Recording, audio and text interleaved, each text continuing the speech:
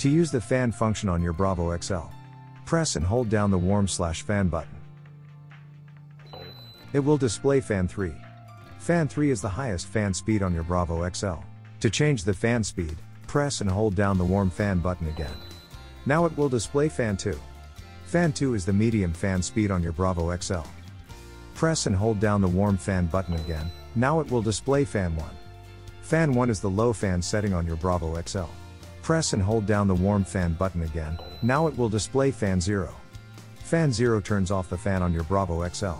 To turn your fan back on, press and hold the warm fan button. And it takes you back to fan 3.